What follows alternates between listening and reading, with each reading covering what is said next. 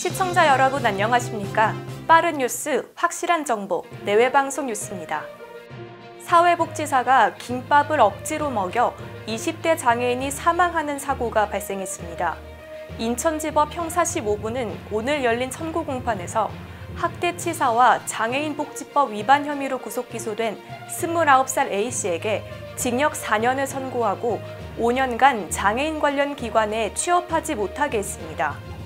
검찰에 따르면 A씨는 지난해 8월 점심시간에 식사를 거부하던 20대 장애인 B씨에게 김밥과 떡볶이를 억지로 먹였는데 이후 B씨가 옆방에서 쓰러져 발견돼 병원으로 옮겨졌지만 숨졌습니다.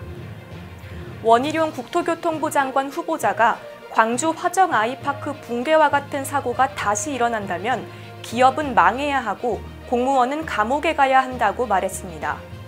원 후보자는 오늘 광주 화정 아이파크 붕괴 사고 현장을 찾아 인근 주상복합 피해 상인과 아파트 입주 예정자 등을 위로했습니다.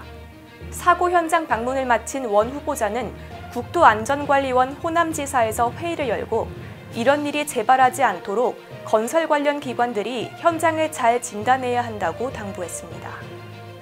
로드리고 두테르테 필리핀 대통령 딸의 BTS 사랑으로 한류 문화에 대한 기대감이 커지고 있습니다. 두테르테 대통령 딸인 사라 두테르테 다바오 시장은 소주 애호가로도 알려져 있습니다.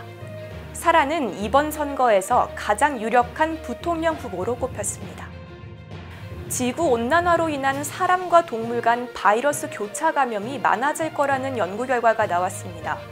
앞으로 50년 동안 15,000건 이상 발생할 예정이라고 하는데요.